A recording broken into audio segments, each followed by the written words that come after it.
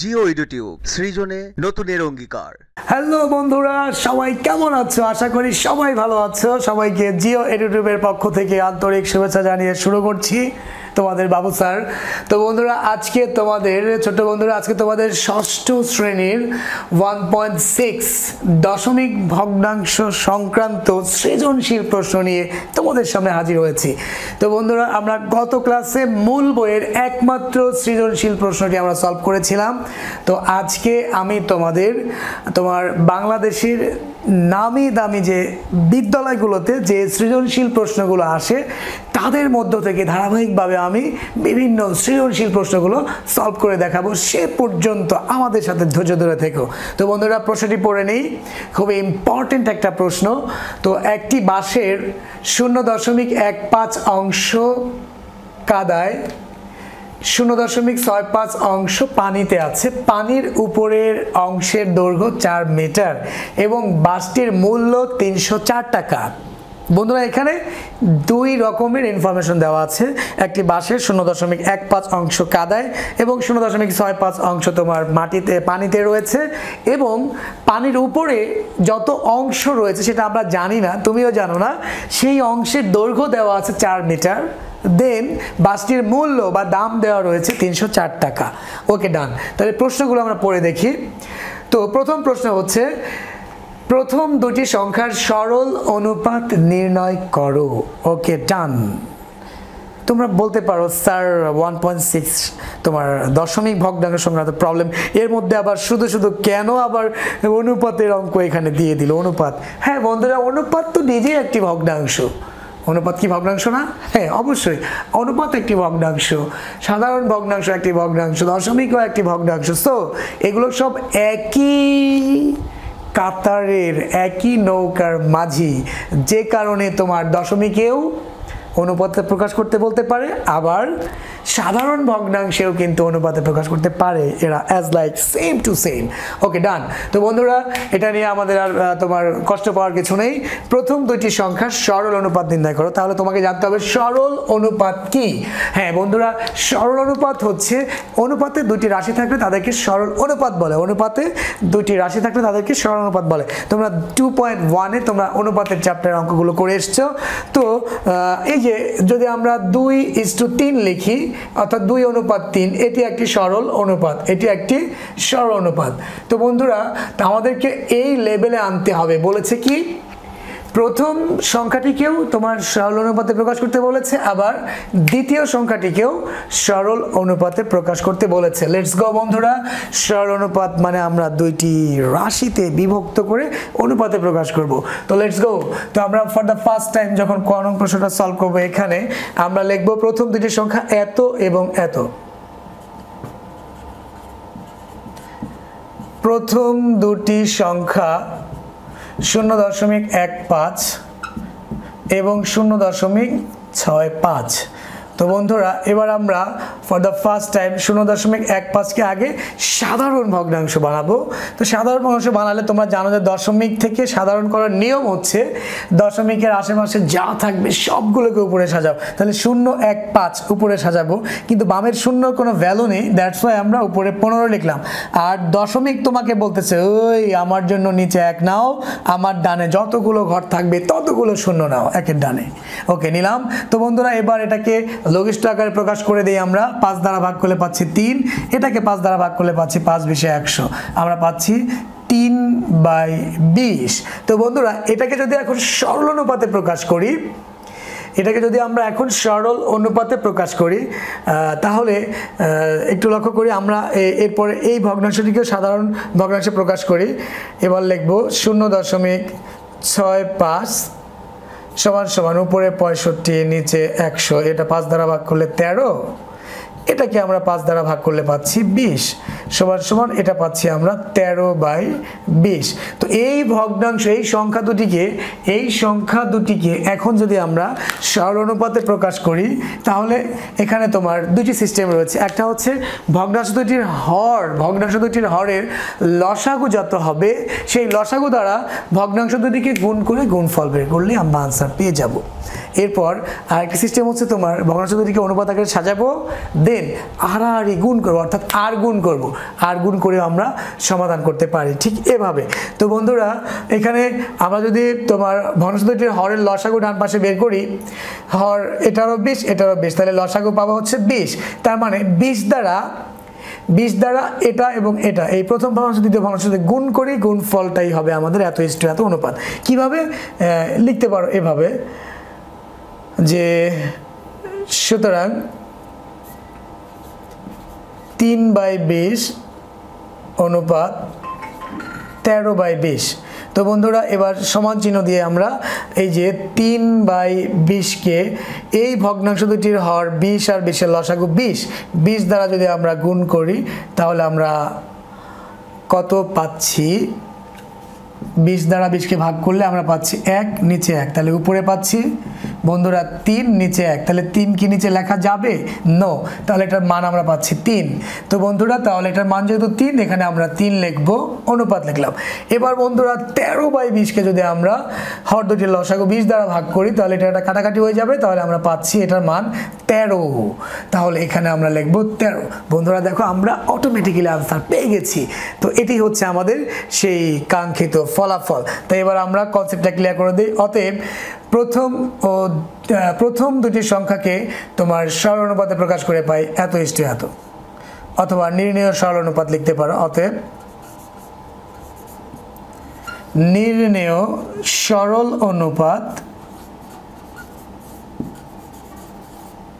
কত বন্ধুরা? সমান সমান দিয়ে লিখতে পারো, তিন ইস টু তেরো। এটি হচ্ছে আমাদের কাঙ্ক্ষিত ফলাফল। তো বন্ধুরা, এই প্রবলেমটিকে কিন্তু তোমরা আবার এই যে আড়াআড়ি গুণ করে করতে পারবা। তিন গুণ বিশ বিশ গুণ তেরো, এরপর গুণফল বের করবা। গুণফল বের করার পর তোমরা যে মানটি পাবা, তাকে আবার লঘিষ্ঠ আকারে প্রকাশ করে দিলেই কিন্তু তুমি অ্যান্সারটা পেয়ে যাবে। তো বন্ধুরা, এবার আমরা আমাদের খনন প্রশ্নে চলে যাই। খনন প্রশ্নে বলেছে, সম্পূর্ণ বাসটির দৈর্ঘ্য কত? সম্পূর্ণ বাসটির দৈর্ঘ্য কত? সম্পূর্ণ বাসটির দৈর্ঘ্য কত? ওকে, ডান। তো বন্ধুরা, এবার সম্পূর্ণ বাসের দৈর্ঘ্য বের করার জন্য আমাদের উদ্দীপক দিকে তাকাতে হবে। তাহলে একটি বাসের এত অংশ কাদায় এবং এত অংশ পানিতে রয়েছে, বাকি অংশ পানির উপরে রয়েছে এবং পানির উপরের অংশের দৈর্ঘ্য দেওয়া আছে চার মিটার। এই ইনফরমেশনগুলো আমাদেরকে তোমার ইউজ করেই আমাদের বের করতে হবে। কি? সম্পূর্ণ বাসের দৈর্ঘ্য কত? তো লেটস গো বন্ধুরা, আমরা শুরু করে দিই এভাবে। তাহলে আমরা লিখব, বাসটির কাদায় এবং পানিতে রয়েছে মোট এত যোগ এত মিটার। বাসটির কাদায় ও পানিতে আছে। বাসটির কাদায় ও পানিতে আছে। মোট আমরা লিখতে পারি শূন্য দশমিক এক পাঁচ যোগ শূন্য দশমিক ছয় পাঁচ অংশ। তো বন্ধুরা, এই দুটির যোগফল আমরা পাবো শূন্য দশমিক আট, অর্থাৎ আশি। তাই দশমিকের ডানে পূর্ণ সংখ্যার পরে কোনো শূন্য লেখার কোনো প্রয়োজন নেই। তো এত অংশ পাচ্ছি তোমার কাদা এবং পানি মিলে একত্রে। তো বন্ধু এবার বাকি অংশটা হচ্ছে পানির উপরে। তাহলে লেখো, অতএব পানির উপরে আছে পানির উপরে আছে বাসটির আমরা এখানেই বিয়োগ করতে পারি এক থেকে বিয়োগ শূন্য দশমিক আট। অংশ সমান সমান শূন্য দশমিক দুই অংশ পাবো আমরা। এটা থেকে এটা বিয়োগ করলে, এক থেকে শূন্য দশমিক আট বিয়োগ করলে। তো বন্ধুরা, প্রশ্ন মতে এত অংশের দৈর্ঘ্যই কিন্তু তোমার এই যে পানির উপরের অংশের দৈর্ঘ্য চার মিটার দেওয়া আছে। এখান থেকে কিন্তু আমরা আমাদের পরবর্তী যে ফিনিশিংটা আমরা সেটা স্টার্ট করতে পারি। তবে এক্ষেত্রে আমরা এই ভগ্নাংশটিকে সাধারণ ভগ্নাংশে প্রকাশ করে নিলে আমাদের ঐকিক নিয়মে সাধারণ ভগ্নাংশ থেকে মান বের করাটা অনেক সহজ হয়ে যায়। দ্যাটস এটাকে সাধারণ ভগ্নাংশ বানাবো। তাহলে এর আশেপাশে যা আছে শূন্য দুই, তার মানে দুই উপরে দশমিকের জন্য এক এক ঘরের জন্য এক শূন্য নিলাম। কাটাকাটি করলে পাচ্ছি এক বাই পাঁচ। সমান সমান এক বাই পাঁচ। অংশ। তো বন্ধুরা, এক বাই পাঁচ অংশ হচ্ছে তোমার পানির উপরে রয়েছে। তো এবার প্রশ্ন মতে লিখে আমরা ঐকিক নিয়মে চলে যাচ্ছি। তাহলে প্রশ্ন মতে আমরা কি লিখব? এত অংশের দৈর্ঘ্য চার মিটার। অতএব সম্পূর্ণ বাস দ্যাট মিনস সম্পূর্ণ বাসটির অংশ হচ্ছে এক। তার মানে এক বা সম্পূর্ণ অংশের দৈর্ঘ্য কত মিটার? ওকে ডান তাহলে আমরা লিখব প্রশ্ন মতে বাসটির বাসটির এক বাই পাঁচ অংশের দৈর্ঘ্য। বাসটির এক বাই পাঁচ অংশের দৈর্ঘ্য আমরা পাচ্ছি কত? চার মিটার। অতএব বাসটির এক বা দিয়ে ব্র্যাকেটের মধ্যে তোমরা অবশ্যই ব্র্যাকেটের মধ্যে লিখবা সম্পূর্ণ, এক অংশ মানে সম্পূর্ণ দ্যাটস ওয়াই তাহলে বাসটির এক বা সম্পূর্ণ অংশের দৈর্ঘ্য, ডানেরটা বস বস উপরে, আর ভগ্নাংশের ঐকিক প্রথম লাইনের প্রথমে ভগ্নাংশ থাকলে উল্টিয়ে দিতে হবে, উপরের এক আসবে নিচে, নিচের পাঁচ যাবে উপরে, এত গুণ এত মিটার, সমান সমান বিশ মিটার। এবার কনসেপ্টটা ক্লিয়ার করে দাও, অতএব সম্পূর্ণ বাসটির দৈর্ঘ্য বিশ মিটার, অতএব সম্পূর্ণ বাসটির দৈর্ঘ্য বিশ মিটার। এটি আমাদের কাঙ্ক্ষিত ফলাফল। তো বন্ধুরা, চলো এবার আমরা আমাদের গণং প্রশ্নটি পড়ে নেই। গণং প্রশ্নে বলেছে, ক প্রাপ্ত অনুপাতের, ব্যস্ত অনুপাতে তিনশো চার টাকাকে ভাগ করো। হ্যাঁ বন্ধুরা, ক থেকে আমরা যে অনুপাতটি পেয়েছি, সেই অনুপাতের আবার ব্যস্ত অনুপাতে আমাদেরকে তিনশো চার টাকাকে ভাগ করতে বলেছে।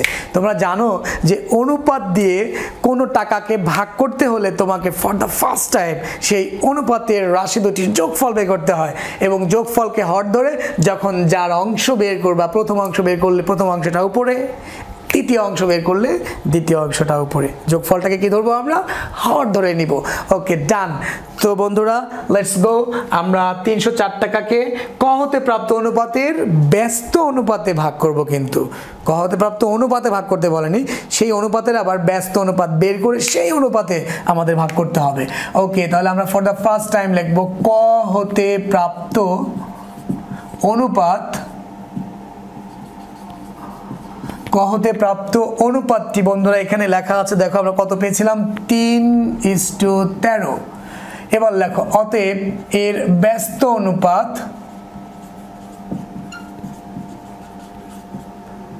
অতএব এর ব্যস্ত অনুপাত হলো তেরো ইস টু তিন। তোমরা নিশ্চয়ই জানো, ব্যস্ত অনুপাত মানে রিপ্লেস করা। ইদার কামাল উদার উদার কামাল ইদার না অর্থাৎ তোমার জায়গায় আমি, আমার জায়গায় তুমি যাব। ঠিক আছে? অর্থাৎ আমার জায়গায় তুমি আসবে, তোমার জায়গায় আমি যাব। অর্থাৎ রিপ্লেস করা, জায়গা পরিবর্তন করাটা হচ্ছে তোমার ব্যস্ত অনুপাত। ওকে, তাই আমরা ব্যস্ত অনুপাত বের করেছি। এটা, এই যে ব্যস্ত অনুপাত, এই অনুপাতে আমাদেরকে তিনশো চার টাকা ভাগ করতে হবে। তাহলে এবার লিখব যে এখানে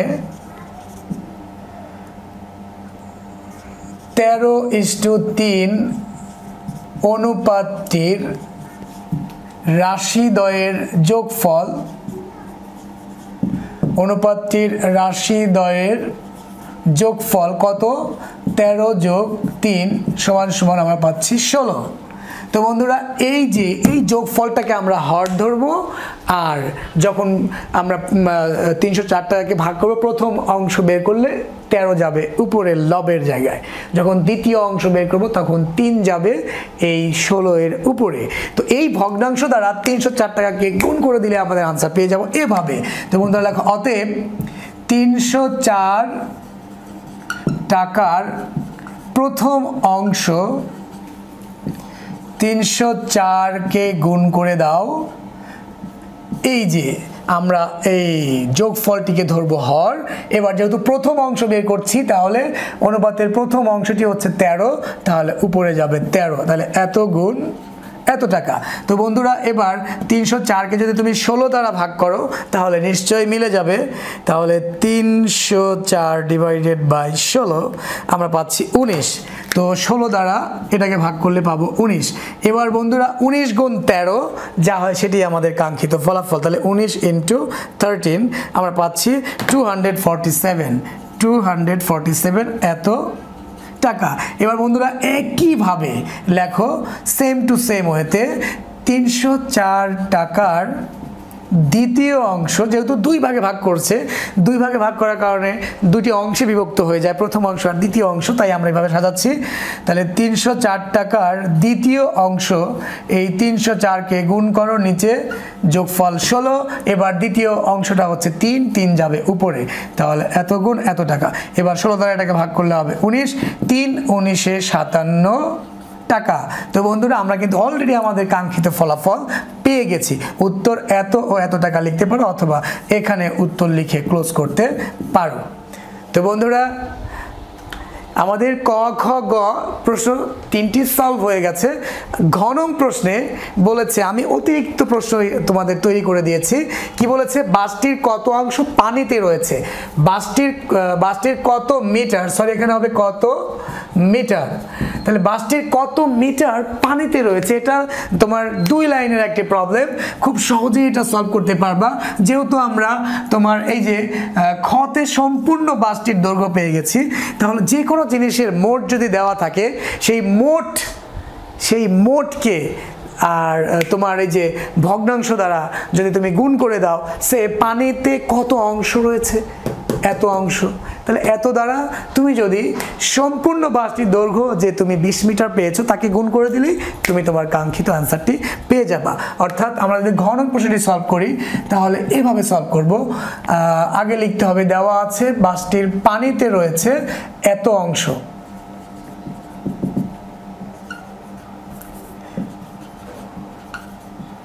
পানিতে আছে বাসটির কত অংশ বন্ধুরা? শূন্য দশমিক ছয় পাঁচ অংশ। এটাকে আমরা আমাদের সুবিধার জন্য যদি আমরা সাধারণ ভগ্নাংশে প্রকাশ করে নিই, তাহলে পাচ্ছি পঁয়ষট্টি বাই হান্ড্রেড। এবার এটাকে কাটাকাটি করলে পাচ্ছি পাঁচ দ্বারা ভাগ করলে পাঁচ তেরো পঁয়ষট্টি, পাঁচ বিশে একশো। তাহলে উপরে তেরো, নিচে বিশ অংশ। তো এই যে, এবার এই অংশ দ্বারা তুমি যে খ হতে প্রাপ্ত যে সম্পূর্ণ বাসের দৈর্ঘ্য বিশ মিটার পেয়েছিলে বিশকে এটা দ্বারা গুণ করলেই আমরা পানিতে কত মিটার রয়েছে সেটা পেয়ে যাব। তো এবার আমরা জাস্ট উল্লেখ করব, খ হতে প্রাপ্ত খ হতে প্রাপ্ত সম্পূর্ণ বাসটির দৈর্ঘ্য বিশ মিটার। সম্পূর্ণ বাসটির দৈর্ঘ্য বিশ মিটার। এবার লেখো, অতএব পানিতে আছে, অতএব পানিতে আছে বাসটির এই যে বিশ গুণ দিস ওয়ান এই ভগ্নাংশ দ্বারা এটাকে গুণ করে দাও, তাহলে কি হবে? তেরো বাই বিশ মিটার। তো বন্ধুরা, বিশ আর বিশ ঢিসুম, কাটাকাটি হয়ে গেল, আমরা পাচ্ছি তেরো মিটার। তো বন্ধুরা, এটি আমাদের কাঙ্ক্ষিত ফলাফল। লেটস গো আজ এ পর্যন্তই। সবাইকে ধৈর্য ধরে আমার ক্লাসটি দেখার জন্য অসংখ্য ধন্যবাদ। যারা এখনও আমার চ্যানেলটি সাবস্ক্রাইব করনি, তোমরা অবশ্যই আমাদের চ্যানেলটিকে সাবস্ক্রাইব করে নাও। পরবর্তী ভিডিওগুলো নিয়মিত পেতে। আজ এ পর্যন্তই। আসসালামু আলাইকুম।